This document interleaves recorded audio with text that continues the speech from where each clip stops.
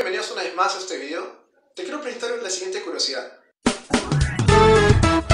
¿Sabías tú que en el Ecuador se dio la siguiente orden? Que durante tres días se guarde luto por la muerte de un presidente peruano. Y es más, que se realice toda serie de ceremonias religiosas considerando el sensible fallecimiento del presidente que a continuación te lo voy a presentar. ¿Quieres saber quién fue?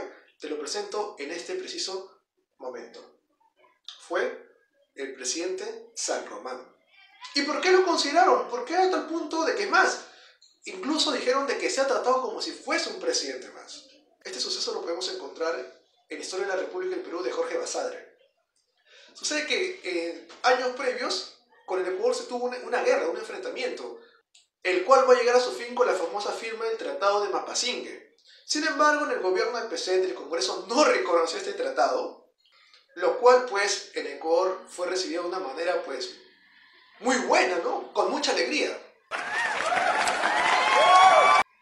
Y, es por ello que cuando muere el presidente San Román, en un gesto de agradecimiento, el presidente de aquel momento pues dio esa orden, ¿no? Que se guarde tres días de luto por el presidente y que en todas las iglesias se celebren misas considerando su sensible fallecimiento.